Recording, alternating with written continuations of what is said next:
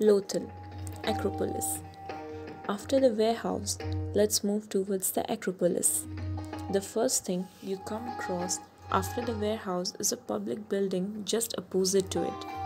As you can see, that the superstructure of the building had completely disappeared due to the natural calamities like multiple floods and storms.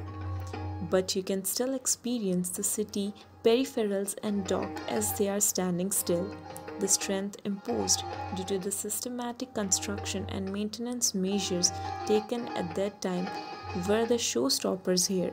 The ruins of this place clearly leave a mark of fire dried bricks, lime, and sand mortar. But there were many signs, and out of which the archaeologists said that the city had experienced devastating floods on several occasions but the proper cause of the structural damages was not addressed. The overconfidence of the inhabitants made them blind towards the proper construction planning to keep the city intact even after floods, and the result was the destruction of the civilization. In the ruins of Acropolis, there is another thing that can catch your attraction. It is the system of underground drainage. It is the most unique aspect of the Indus Valley civilization. You can see the drains properly routed without polluting the city. The main connection of the drainage sewer line was 1.5 meters deep and 0.9 meters across.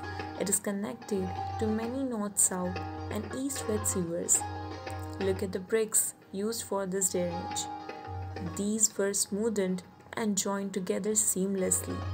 All the openings were arranged in such a way that the drops used to come out of it in irregular intervals. This made it work like an automatic cleaning device. If you take a closer look of the drainage system, you might find wooden screen at the end of the drains.